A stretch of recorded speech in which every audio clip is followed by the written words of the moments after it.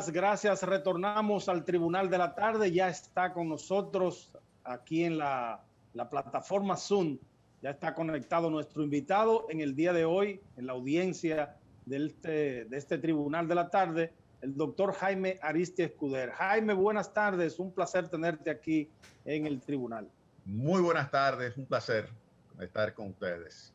Para mí un honor. Bueno, bueno, Jaime, antes de pasar al tema eh, Punta Catalina, que aparece, aparentemente pica y se extiende con la situación esta del carbón, pero eh, nos gustaría conocer primero la situación económica del país, cómo la visualiza y si ciertamente todavía hay posibilidades, hay chances de una reforma fiscal y qué debería incluirse en esa reforma fiscal.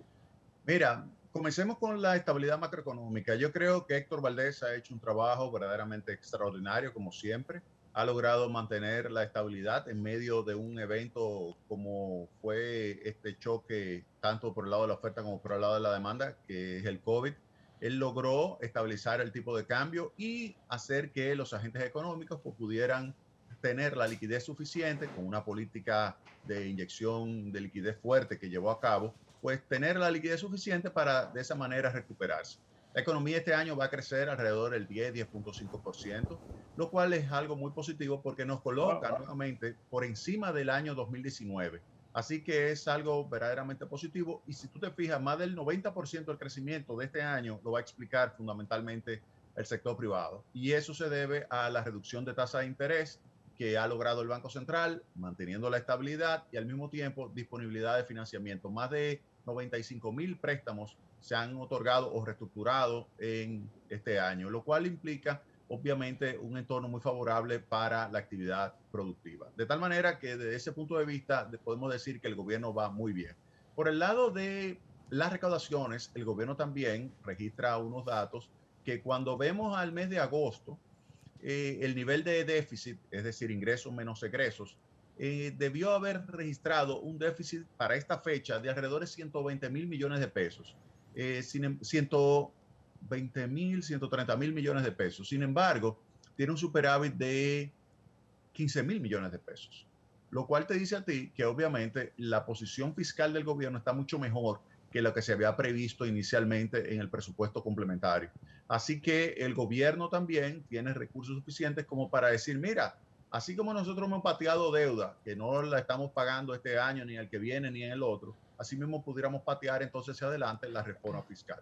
Y yo creo que puede ser, porque fíjate que el gobierno a la hora de discutir la reforma fiscal, en el documento que se, que se colocó como documento introductorio en el diálogo, fue una reforma que tiene tres páginas, de las cuales una es eh, la que tiene la, respuesta, la propuesta de reforma, que son seis puntos, y esos seis puntos son algo tan superficial como decir, los ricos son los que van a pagar, las exenciones que se van a eliminar son las que no afecten el empleo o las divisas o a los pobres. Así que cuando tú te fijas ahí, tú dices, bueno, entonces, ¿dónde está la sustancia de esta reforma fiscal? Dice, vamos a simplificar el sistema tributario, vamos a establecer una ley de responsabilidad fiscal y vamos a capitalizar el Banco Central y punto. Así que, de acuerdo a lo que se ve, el gobierno está tratando o que otro le haga la reforma y ellos simplemente la aprueban en su Congreso y otro coge el hit político, el costo político, o sería simplemente patearla hacia adelante. Y lo que te digo es que, dado los números fiscales, se pudiera patear. En desmonte de algunos subsidios, ¿qué piensa hacer el gobierno? ¿Cómo lo analizas? ¿Cómo lo visualizas? Mira, eh, el gobierno dice que va a eliminar los subsidios o exenciones que están vinculados con eh, actividades que no generen divisas o actividades que no generen empleo o bienes y servicios que no afectan a los pobres. Entonces, cuando tú dices, bueno, déjame ver el gasto tributario y tú miras, son 200 mil millones de pesos, tú dices, ok, eh, esta que es el turismo, ah, yo no puedo eliminar esto. Esto que es Ah, el sector industrial, ah, yo no puedo eliminar esto. Esto que es zona franca, yo no puedo eliminar esto. Ah, esto que son los bienes básicos que consumen los pobres y que están excepto el ITV. Ah, yo lo voy a eliminar. Algunos servicios fundamentales como salud, educación, etcétera. Entonces, yo no sé si el gobierno va a eliminar eso. Si se hace una reforma, por ahí es que debería comenzar. Pero yo no yo no estoy seguro de si el gobierno lo, lo hará. No, lo, no estoy seguro, no estoy seguro. Vamos a ver qué pasa. Ya yo creo que en estos días tiene que presentar el, el presupuesto. Sí, eh, Jaime, con relación a Punta Catalina, yo quiero iniciar por una información que ha sido publicada por el Nuevo Diario, reproducida por otros medios de comunicación, eh, que habla de otro problema que podría estar afectando a la termoeléctrica. Ellos se refieren a eh, que explotaron sus dos molinos. ¿Qué informaciones pues, has tenido sobre este tema? ¿Qué podría implicar? O si el único problema hasta el momento está relacionado solo con el carbón mineral. Mira, la información que yo tengo es, primero, que se le acabó el carbón. Y no es verdad que puede que porque se le atrasó un barco del 2 de agosto al 14 de septiembre. Si ese barco no se hubiese atrasado, hubiese llegado el día 2 de agosto, al día 12 de agosto ya tú no tienes carbón, porque un, un barco de 60 mil toneladas te da para un consumo de 11 días, por ejemplo. Es decir, que ya tú no hubieses tenido como quiera, desde el 12 o 13 de agosto hasta el 15 de septiembre, tú no hubieses tenido eh, combustible. Y todavía a la fecha de hoy no se ha firmado. La, el pero bueno, eh, eh, pero, pero eh, también es, es, una excusa un poco irresponsable porque, caramba, uno, uno mirando a una persona echando un galón de combustible a un, a un carro que se le queda en, en, la carretera, uno dice, pero qué irresponsabilidad. O sea, ¿cómo tú a una planta de esa naturaleza, lo que significa Punta Catalina para el sistema energético en la República Dominicana, tú eh, te excusas diciendo que se le, se le acabó el, el, combustible, que es el carbón que la genera. No, y lo grave es que nosotros el día 18 de agosto le dejamos un contrato vigente con 1.8 millones de toneladas métricas de carbón, que le daba tiempo a ellos prácticamente de hacer la, la, la licitación hasta julio.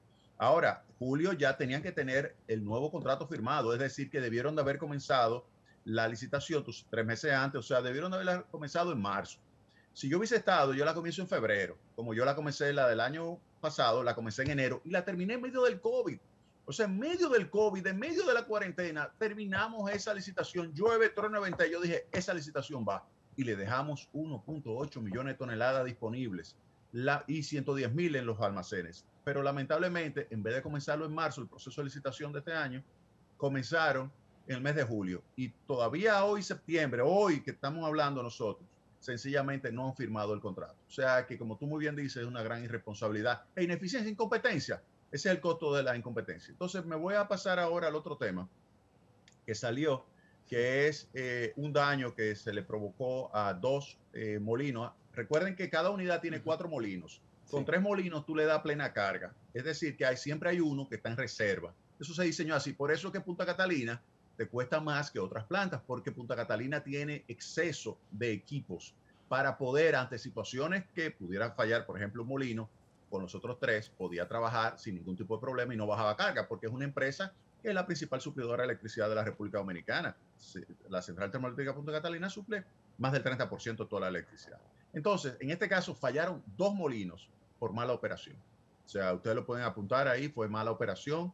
Eh, operación y mantenimiento de las unidades y esto ya el presidente tiene que tomar cartas en el asunto. Si el presidente continúa con ese equipo ahí, le van a destruir eh, un activo que costó 2.454 millones de dólares, apúntenlo, 2.454 millones de dólares costó ese activo construirlo. Entonces no es justo que lo sigan operando de una forma tan ineficiente y que produzca ese tipo de daños. Ustedes recuerdan lo que sucedió en enero también en enero hubo un pinche de la caldera de la unidad número 2 y ese pinche fue producido por, también por una mala operación de la planta. Entonces no podemos continuar con esto, no podemos continuar con esto. Yo creo que el presidente ha llegado el momento de que tome una decisión, de que lo mande para su casa ese equipo y que recontrate a el superintendente de operación que yo le denuncié que lo despidieron en septiembre, el superintendente de mantenimiento, el director de producción la jefa encargada de, que son personas del sistema de control de calidad de aire, que son personas altamente entrenadas durante más de tres años por el consorcio constructor y por los fabricantes de esos equipos. Entonces, es importantísimo que vuelva ese equipo otra vez. Además, deben recontratar el equipo administrativo y financiero que existía antes, que no era político para nada. Fueron jóvenes altamente capacitados, muy, muy eficientes, que se contrataron y se entrenaron en SAP. ¿Para qué? para que pudieran operar administrativamente esa planta, para que pudieran hacer bien. El equipo de, de abogados entero se fue. Entonces, tú no tienes ahí realmente experiencia para montar bien proceso de licitación. Mira, han tenido problemas con el proceso de licitación de la cal, problemas con el proceso de licitación de seguro, problemas con el de carbón, problemas con el de repuesto. Para que tengan una idea, el de repuesto de las mangas y las canastas no lo han podido montar, que son elementos fundamentales del sistema de control de calidad de aire. Entonces yo creo que llegó el momento, ya está bueno. Yo creo que ya está bueno de seguirle permitiendo que sigan siendo tan ineficientes e incompetentes en la gestión, sí. operación y mantenimiento de la central termoeléctrica Punta Catalina. Sí. Jaime, y, y eh, mirando, mirando en, en, el mundo la situación de la contaminación eh, global, este producto, el carbón el mineral que también es eh, altamente contaminante y que, y que ya empieza incluso en países, eh, países productores a eliminarse. ¿No podría esto eh, abrir la puerta para que se cambie el sistema de generación de, de, esta, de esta planta? Dionisio, el, hace dos años Japón mandó a construir 22 como Punta Catalina. Por favor, no me diga eso. Óyeme bien una cosa. Cuando ellos tengan una sola planta como Punta Catalina, entonces yo pienso cambiarme acá natural.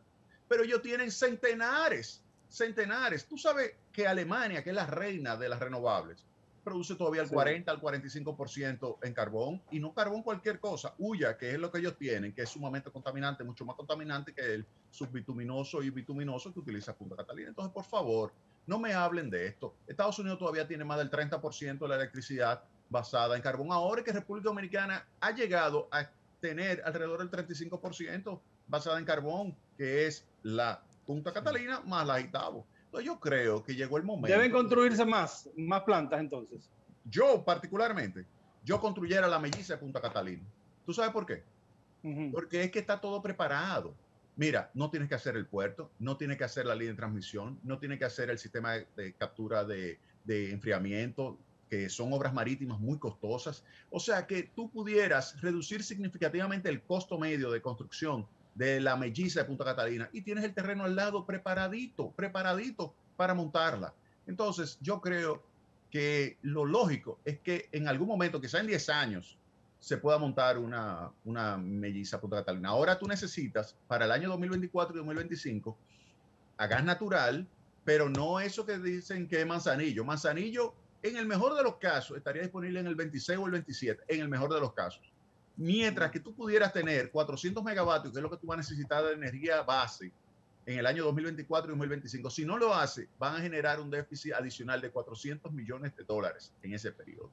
Sí. Óyeme, apúntalo ahí, te lo estoy diciendo hoy día. Si no buscan una licitación donde se olviden de Manzanillo, que eso va a ser para 26, 27, y que la puedan tener listas 24, 25, que sería aquí en la zona que va del Distrito Nacional hasta San Pedro Macorís, aprovechando la infraestructura que hay disponible en términos del gasoducto que tenemos en que va desde Andrés, que sí. se alimenta desde Andrés, y las instalaciones que se están llevando a cabo de un nuevo tanque de almacenamiento de gas natural. Si tú no haces eso, tú vas a tener problemas sí. como país, porque vas a tener que pagar precios de 18 o 17 centavos de dólar en el mercado sí. spot, lo cual Punta Catalina, cuando está presente en el mercado, lo reduce a 7 centavos. Eh, en, en, más de una ocasión, Jaime, mencionaste la palabra de ineficiencia o ineptitud en el caso del manejo de los, y hablaste de manera muy puntual de los recursos o talentos humanos. Sí. Pero aparte de estas ineficiencias, ¿qué entiendes que pudiera estar detrás de una obra que en términos de costos económicos ha sido una de las más, de las, de las más altas en inversión de, de los recursos de República Dominicana y también ya en términos de importancia por lo que, por lo que, por lo que maneja, que es justamente energía. ¿Qué otras cosas pudieran estar, estar detrás? No, y de la más rentable, óyeme bien, eso genera 250 millones de dólares de beneficio al año, junto con 200 millones de ahorro para las empresas distribuidoras por la reducción del mercado de spot, te hace a ti de 5 a 6 años tú recuperas la inversión. O sea, mira lo que es esa planta, eso no es cualquier cosa. Ahora bien, yo lo que veo es que realmente el equipo humano que está manejando no está haciendo un buen, un buen trabajo. Eh, yo en algún momento eh, señalé que eso parecería ser que es una estrategia para deteriorar su valor y venderla a precio de vaca muerta. eh, yo creo que después como que, que se, se echaron un poquito hacia atrás, pero al ver todo este tipo de errores, si el presidente no toma cartas en el asunto, entonces hay un problema serio. Hay un problema serio. Jaime, si, nos pudieras traducir en números, eh, ¿qué implica esta situación de la falla de los molinos conjuntamente con la falta de carbón en cuanto al ingreso que está dejando de percibir eh, Punta Catalina y eh, lo que está dejando de generar? Mira, vamos a suponer que Punta Catalina opere normalmente con 360 megavatios. La capacidad máxima es 376, pero tú sabes que tú le tienes que dejar un margen para, para regular frecuencia. Entonces, vamos a suponer 370, 360. Entonces lo multiplicamos por 2, lo dividimos entre 3, son 240. 240 menos 160, ahí tú tienes a 120, ¿verdad? 240 más 220, 360. 120, 120 de una unidad. Entonces tú pudieras calcular a partir de ahí lo que sería eh, la pérdida que estaría teniendo diariamente y pudiera ser alrededor de 200 25, 240 mil dólares en ese rango diario. ¿A qué, ¿A qué le atribuye, Jaime, los apagones? Hay sectores que se han estado quejando de horas, eh, incluso eh, eh, algunos entre 8 y 10 horas de apagones. Claro. Algunos sectores. ¿A qué le atribuye? No, oh, pero a la falta de Punta Catalina. Recuérdate que decían, no, que Punta Catalina no es importante. Yo decía, no es importante, pero tú tienes luz por Punta Catalina. Miran ahora, cuando Punta Catalina en los próximos días salga, definitivamente porque se le acabó totalmente el carbón, porque recuérdate que cuando se le acaba el carbón, ellos reciben un préstamo de Itabo. Y luego entonces le llega ese último barco, que ya es un barco eh, que no hay más porque ya no hay más contrato. Si ellos no consiguen un barco adicional en los próximos 10, 15 días, oígame bien una cosa, los apagones aquí que veremos va a ser fuertes, fuertes, porque es que Punta Catalina, vuelvo y señalo, 30% de toda la electricidad. O sea, Punta Catalina es la joya del sector eléctrico. Es más grande, oye bien, es más del doble que la segunda que le cae atrás. ¿Tú me entiendes? O sea, es que Punta Catalina es una cosa gigantesca, gigantesca. Ahora se están dando cuenta de la importancia de Punta Catalina. Me gusta eso. Que se den cuenta que la, que la valoren, que la quieran, que la cuiden, que la protejan, entonces yo creo que hay que hacer un movimiento nacional en pro de la defensa de Punta Catalina y que entonces podamos lograr que ya no sigan en manos de este grupo de personas que la está destruyendo. Eh, eh, Jaime, en otro orden, hemos, eh, hemos dado seguimiento a algunas de tus intervenciones a propósito de una propuesta de un grupo de entidades por una seguridad social digna en la que proponen eliminar las ARS y las AFP. ¿Qué podría implicar, eh, a tu juicio, eh, volver al sistema de reparto? Eso me acuerda a Chávez, me acuerda a Maduro, cuando decían eh, que iban a dar una maravillosa vida a los venezolanos, o en Cuba o en Nicaragua, el mismo tipo de... Yo lo que te digo a ti es lo siguiente, tú quisieras un sistema de reparto como el IDSS que teníamos, donde el sistema de pensiones sencillamente no te prometía que al final tú ibas a recibir una pensión. No, hombre. Eh, mira, el sistema de capitalización individual, en el cual yo participé desde los años 90, hay un libro aquí, allí está, que se llama El Programa, en el cual el capítulo, creo que es el capítulo 17, donde Andy Dawarre, yo y otras personas más escribimos muchísimas reformas, pero esa era la reforma del sistema de capitalización individual. Y ahí señalábamos la importancia de que la pensión fuera en función de lo que tú ahorrabas, no de una promesa del Estado que al final no te iba a dar nada. Mira, no hay un sistema de reparto que no obligue a tener, si quieres ser sostenible, que no tenga la intervención del Estado. Es decir, son sistemas en realidad con el apoyo del Estado, donde además de una contribución de hasta el 30%, óyeme bien, de, equivalente al salario, el 30% del salario, aquí lo que aportamos es el 8.4%, pero en esos países donde hay sistema de reparto, 30%, o tienen presión tributaria de hasta 45%. La pregunta es, con una presión tributaria del 14%, ¿tú crees que aquí podemos tener de que una pensión digna basada en el sistema de reparto? Olvídate de eso. ¿Cómo se puede mejorar la pensión en el sistema actual? Mira, en primer lugar, el sistema de pensiones que nosotros tenemos ya ha acumulado 707 mil millones de pesos. De esos 707 mil millones de pesos, el 14% lo ha aportado el trabajador. el 32% lo aportó el empleador y el 54% lo aportó el mercado, es decir, la rentabilidad de esas inversiones.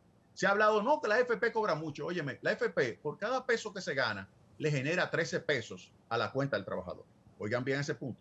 Por cada peso de utilidad de la FP, le genera beneficios a el trabajador por 13 pesos. Pero no solamente eso, esos recursos, además de acumularse a favor del trabajador, lo cual no se acumula en el sistema de reparto, ¿qué implicaciones positivas tiene?